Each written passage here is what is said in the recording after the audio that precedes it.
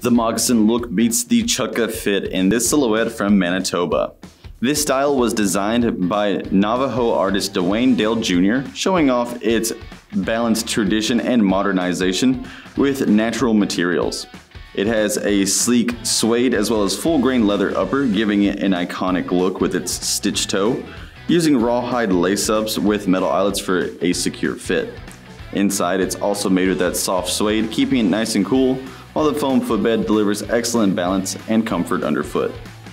The middle is reinforced, acting as a bit of a mudguard as well, keeping it abrasion resistant and clean, while the outsole is made with EVA and some rubber, making sure it's bouncy yet grippy for all day reliability.